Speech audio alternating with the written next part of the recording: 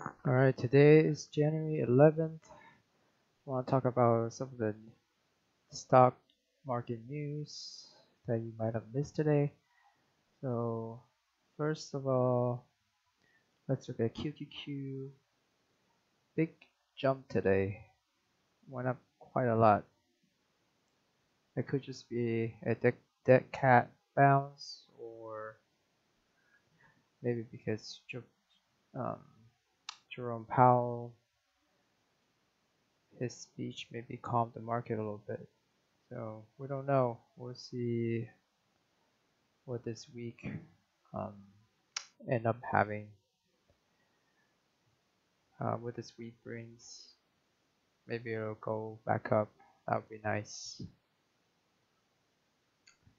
Um, let's see. Let's talk about Bitcoin next. So Bitcoin is actually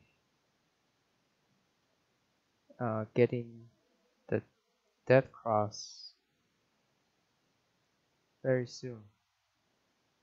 Depending on that's when the 50 uh, 50 day moving average crosses below the 200 day moving average. It's very close.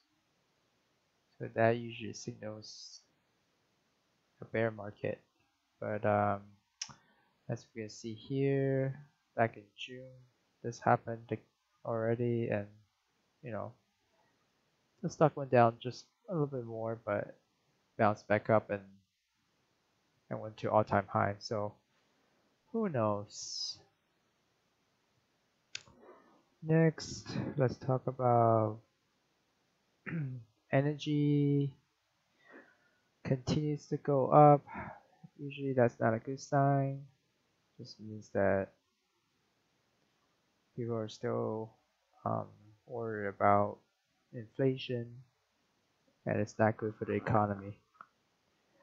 Um, next off, so this is the Virgin Orbit. Went up 30% today um, after they announced they're opening the launch window for its third commercial flight.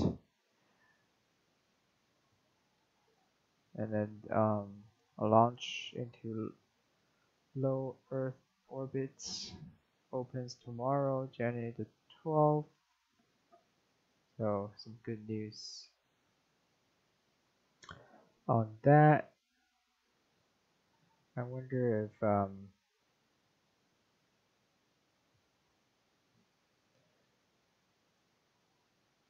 Huh. Virgin Galactic didn't really go out today. That's interesting. Uh, what's next? Let's see. Alright, so let's circle back to uh, Jerome Powell. He uh, have a confirmation hearing in front of the Congress today. Um, he's uh, trying to ease the concerns and assert, assure the public that the U.S. is ready for tighter monetary policy to tackle high inflation. Um, Powell stated the Fed's plan to conduct interest rate hikes and taper monthly uh, bond purchases which um, we already know that's going to happen.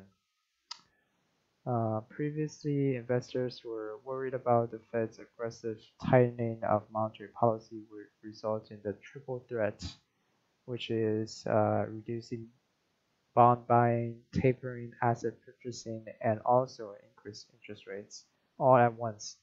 But um, I guess Jerome Powell today kind of calmed the nerves a little bit by saying that it's gonna be a, a gradual process, which is um, a good sign.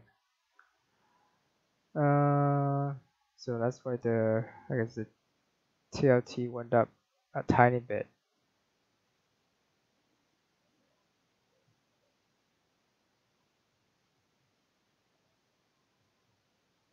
Yeah, when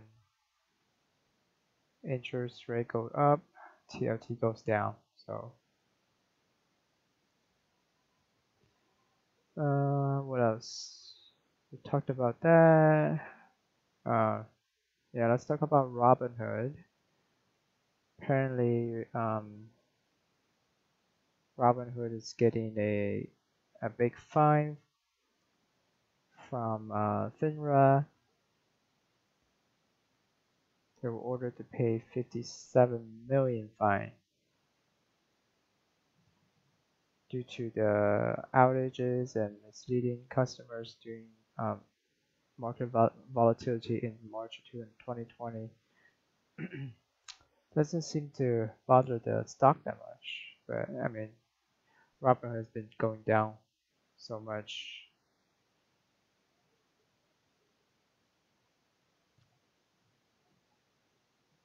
And now it's only at a 14 billion. The highest is $85. Right now it's 16. Could be a buying opportunity. There's a increase in volume, trade volume, and the stock's been beaten down quite a lot. So there might be a, a trading opportunity here. Should keep an eye on it. Um, last thing I wanted to talk about is this uh, graph that I saw um, of all the politicians and their stocks, how they're doing compared to SPY. And as we can see, quite a lot of them are doing pretty well. And um, here's Nancy Pelosi doing great for herself. And then the highest, the top five is all Republican. Go figure. That's pretty interesting chart.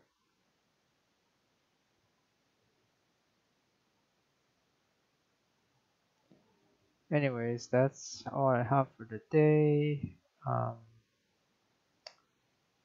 I'll see you guys tomorrow